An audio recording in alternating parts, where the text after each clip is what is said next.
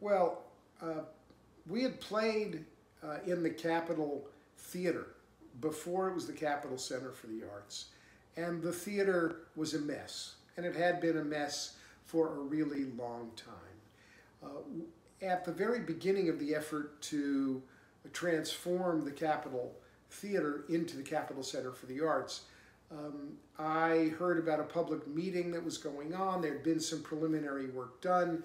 Uh, the meeting was um, at uh, Chubb Life. And so one summer night, I uh, put on my shorts and my sandals and uh, went up to an auditorium to see what was going on. And there was a report that had been created about what it would take to transform the theater into a performing arts center. And they asked for input from the audience after the report. And I was moved to get up and speak. And what I said was, this is really important. And if you look around Concord in terms of its development and what we are hoping for and what we want for uh, our city, this could be the heartbeat of Concord. This theater, this performing arts center could be the, the heartbeat that helps transform this city.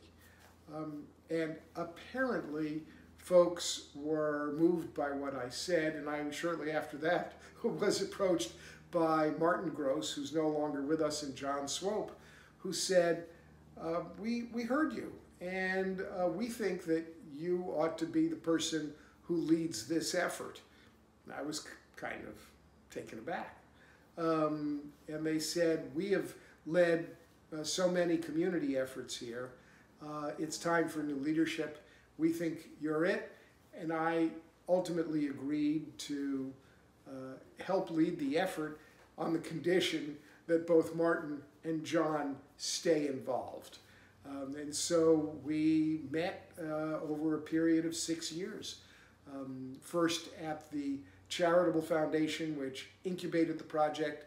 Uh, then, uh, after we were able to buy the Kimball Mansion and the Kimball Mansion, and it took six years from uh, the beginning of the dream to the first phase of the opening.